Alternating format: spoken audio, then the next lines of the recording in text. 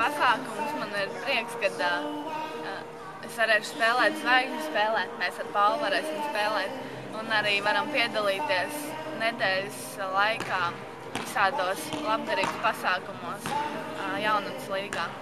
Bija liels prieks piedalīties.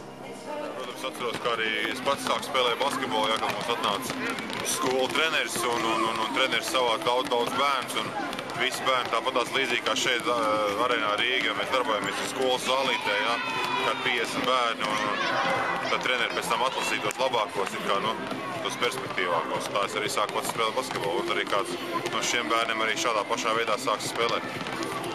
Nu, kā jums meiteņi šodien patikās pasākums? Patikās. Ļoti patikās. Jā. Kurā skolā jūs mācāties? Rīgas Imants vidusskolā. Jā, un kurā klasē? Otrajā vēl.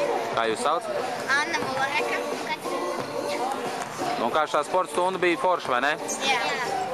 Tā ir lieliski iespēja atnākt un patrenēties tur, kur spēlē mūsu Latvijas zvaigznes, ne tikai basketbolā, bet arī hokejā.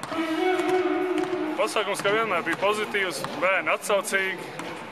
Kā vēlreiz teicu, paldies Svetbankai un VFA par eh, lielisku atbalstu un paldies visiem bērniem un skolām, kas nāk un piedalās šajā pasākumā.